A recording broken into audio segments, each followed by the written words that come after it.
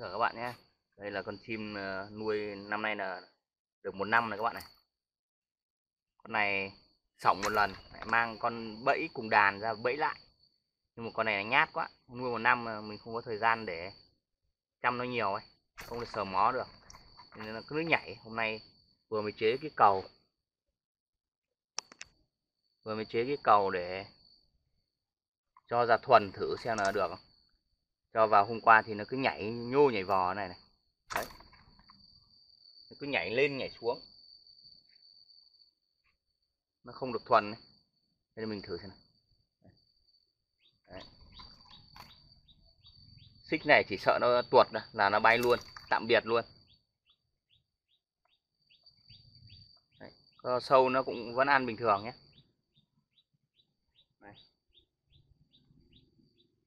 Đây, sâu rồi ăn đi.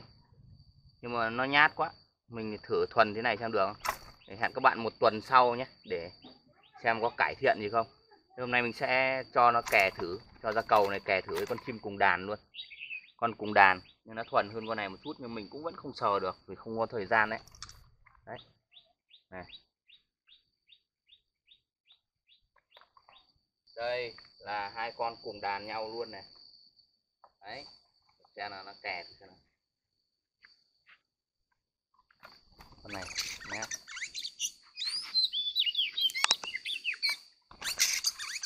Đấy. con này thì nó đang sợ rồi. Đứng cầu.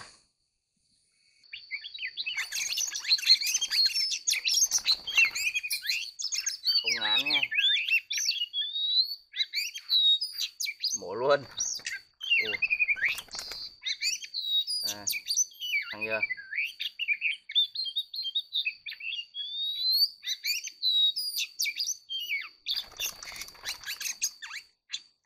mổ vào mắt nhau thì ăn dài.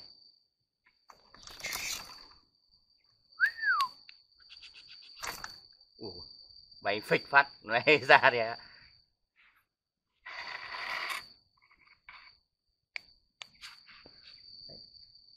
con ở trong này nó cũng vẫn nhảy nhưng nó thuần hơn. Nó thuần hơn con này. Con này cho ra đây bắt đầu sợ ghê. Wow, wow, wow, wow. không mổ Ôi,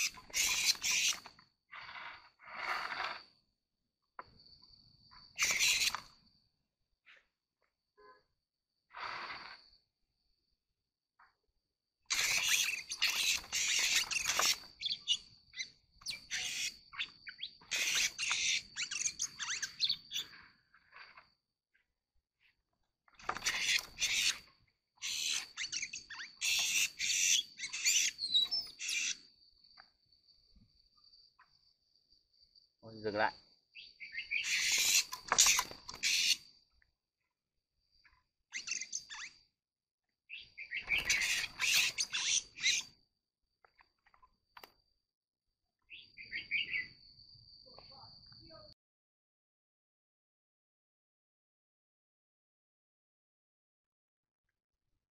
Thôi, chim đâu rồi?